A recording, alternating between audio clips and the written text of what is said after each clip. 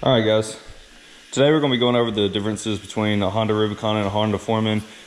Uh, you know, there's a lot of you that are maybe looking to buy a Foreman or a Rubicon, and so I'm just going to kind of go over the differences and the pros and cons about what I like and what I dislike between the two. So obviously, a Foreman is a straight axle, and a Rubicon has independent rear suspension. Uh, on my Foreman, I have 27 inch Mega Mayhem tires and on the Rubicon I have 26 inch Sun F tires.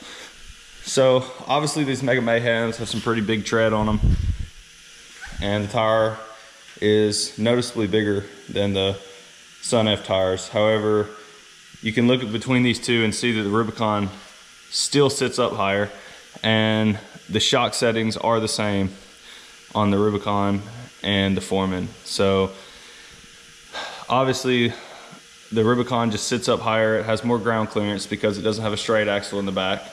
So that's a big difference in the two if you're going through mud. But I will tell you that with the Foreman, I have never had an axle break in the rear.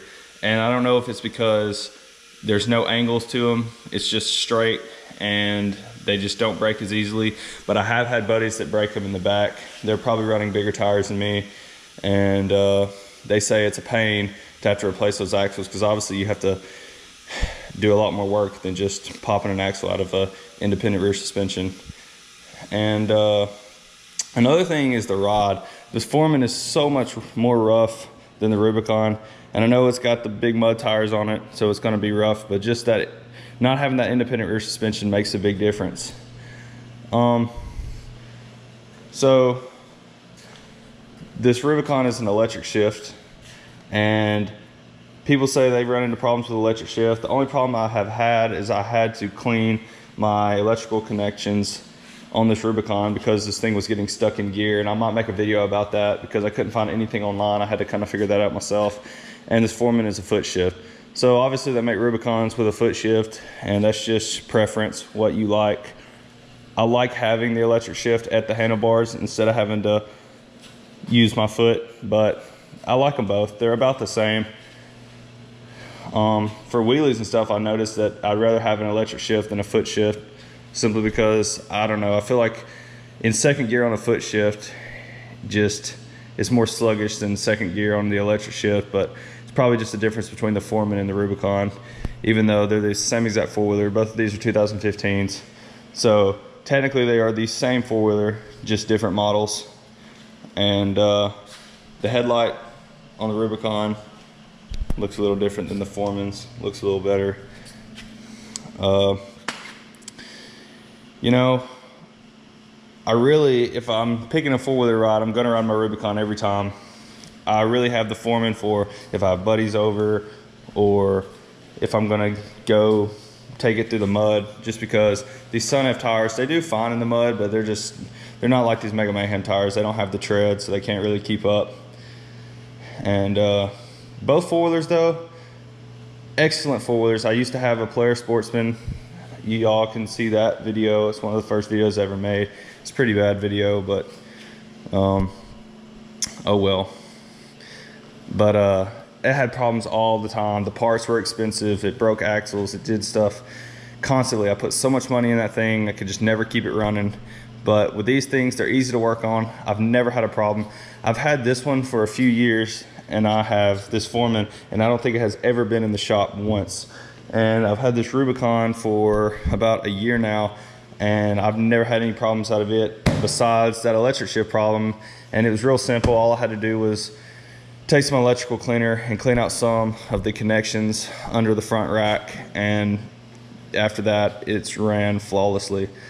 The parts are cheap they're, they're easy to work on and uh, all around i mean they're great four-wheelers to own and you know i know there's all these Can-Am guys and there's honda guys and it's kind of like a war between which one's better for taking them through the water and the mud and everything and I will say these Hondas only have 27 horsepower. You know, I had a Sportsman 570, it had 44 horsepower, and I absolutely loved having that horsepower. You can jump up in wheelies, you can I mean, fly. Those things went like 65 miles an hour. These things will only go about 50.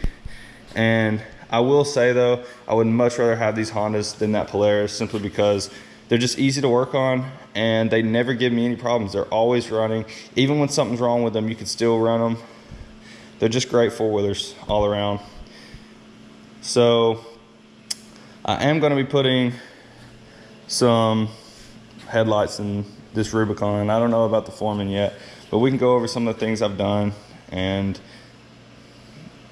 I don't know, maybe that'll help you guys kind of decide what to do on y'all's. So for the winches, both of these winches are from Quad Boss.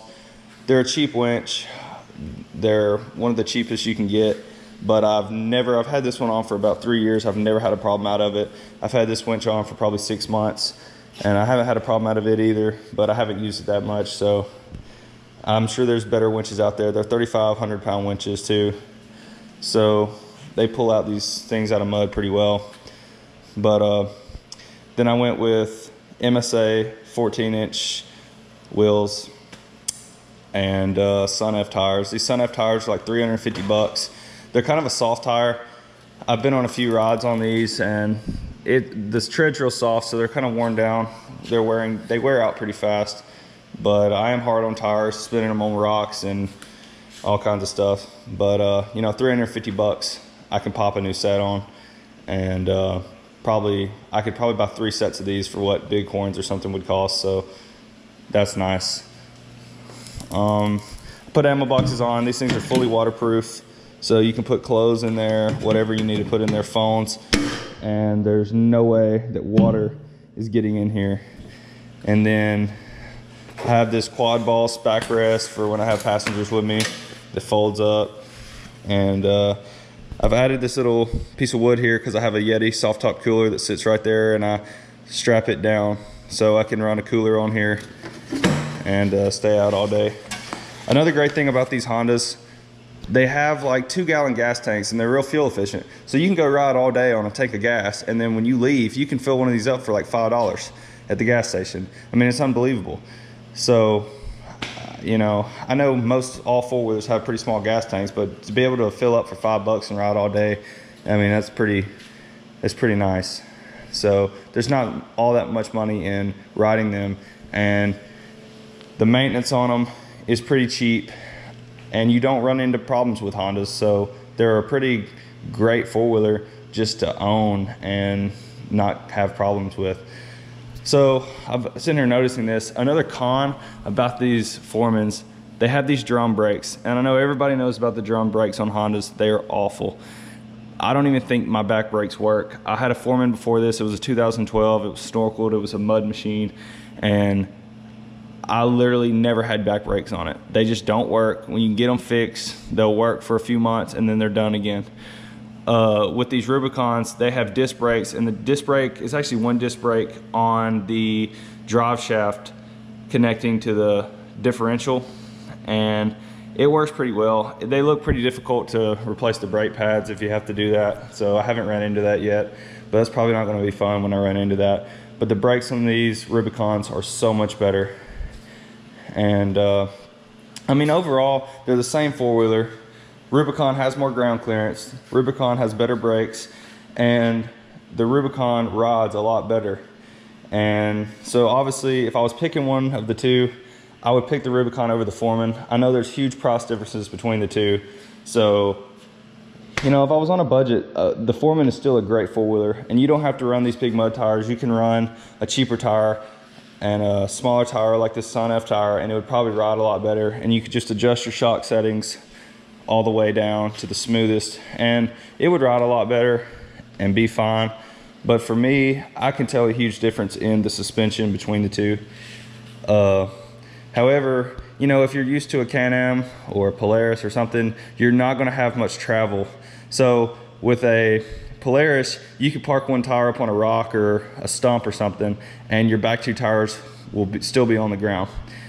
Well, on this Rubicon, if you pull up on a big stump or something with your front tire, it's still gonna do that teeter totter just like a straight axle would. So you don't have much travel. It's just more comfortable. It's a more comfortable ride on the Rubicon, but you still can't flex and you're still more likely to flip. Both of these four wheelers, I feel like they flip a little easier than other four wheelers just because they don't have that travel and they can't flex out and they're just, they're easily, you can roll them pretty easily. So that's kind of a con between the Hondas and obviously the horsepower.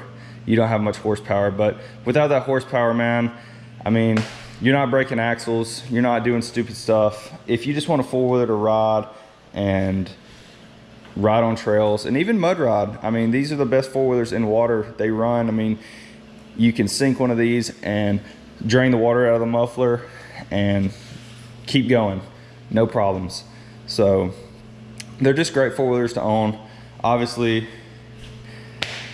the Foremans are cheaper than the Rubicons. They want a lot of money for these Rubicons, but these are both 2015s. I think a few years ago I paid five grand for this Foreman, and then last year I paid about 52 for this Rubicon.